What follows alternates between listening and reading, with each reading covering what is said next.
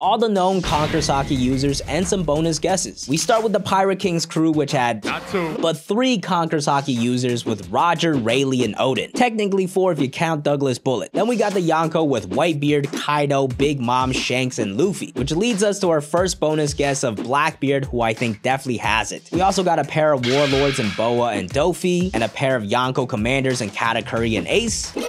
And as Luffy's right-hand man, Zoro has also been confirmed to have it. Which gets us to our second bonus guess, the man Zoro's trying to surpass, Dracule Mihawk, I think he definitely has it as well. But besides that, Eustass Kid also has it, and so does the legend Don Chinjiao, and the only Marine known to have it is former Fleet Admiral Sengoku. Which gives me to my final bonuses, Akainu as the current Fleet Admiral, Garp as the hero of the Marines, Dragon to complete the Monkey D family, and also the name of this channel which completes